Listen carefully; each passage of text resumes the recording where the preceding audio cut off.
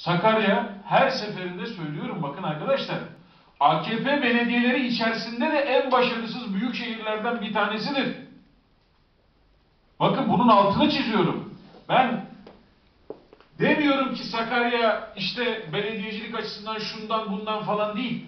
AKP'li belediyeler açısından bile Sakarya Büyükşehir Belediyesi en başarısız belediyelerden bir tanesidir.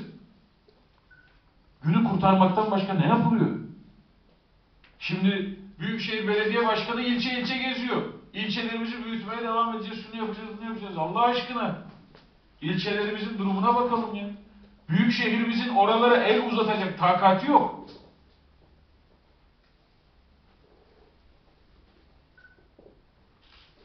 Sonra çıkıyorsunuz marka şehri Sakarya. Arkadaş ben hiçbir yer göremiyorum marka şehri Sakarya diyebileceğim.